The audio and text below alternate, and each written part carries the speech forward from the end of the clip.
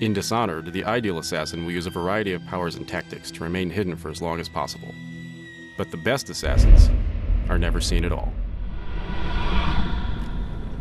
An enemy's line of sight is limited to what a person would actually see. When using the dark vision power, their field of view is illustrated with a shaded cone of light. Enemy peripheral vision is weaker at a distance.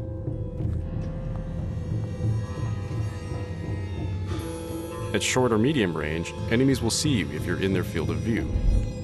Huh? What the fuck? However, at a distance, darkness can function as an effective cloak. Leaning allows you to peek around corners while remaining hidden behind cover. I'm gonna say we found one of Slackjaw's men inside, all dead and bloody.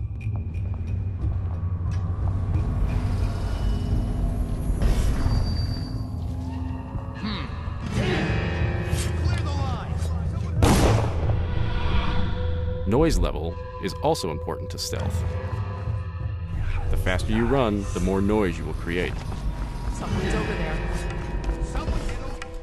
Crouching will enter stealth mode and silence your movement entirely. Sound can also be used to distract enemies and throw them off your trail. I hear you, bastard. You gotta be here somewhere.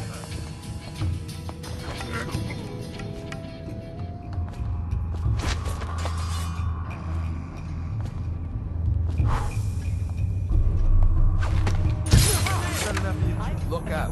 We got someone skulking around. Watch. Each of these disciplines should be taken into account while sneaking, and none of them are foolproof when employed separately.